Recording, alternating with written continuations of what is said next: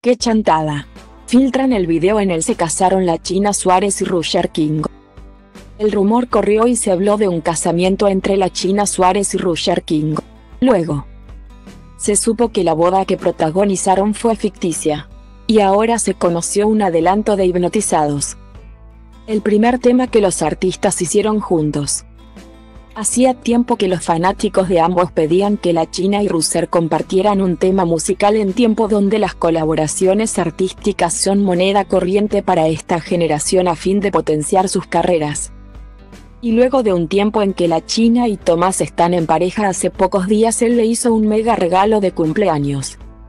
Un auto que ella siempre quiso tener, gestaron una primera canción juntos y para hacer el videoclip apostaron a recrear una boda entre ellos.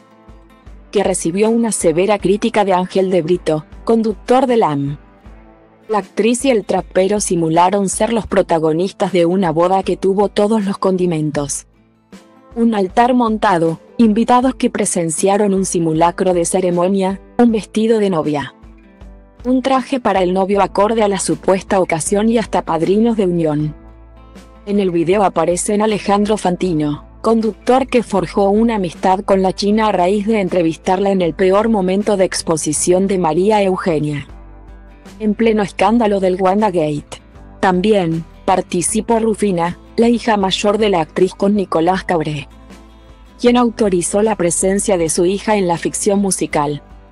Además, a modo de recrear un evento que parezca verdadero, la mamá de la China, Marcela Ribeiro, también fue parte de la filmación como una de las invitadas al supuesto gran evento.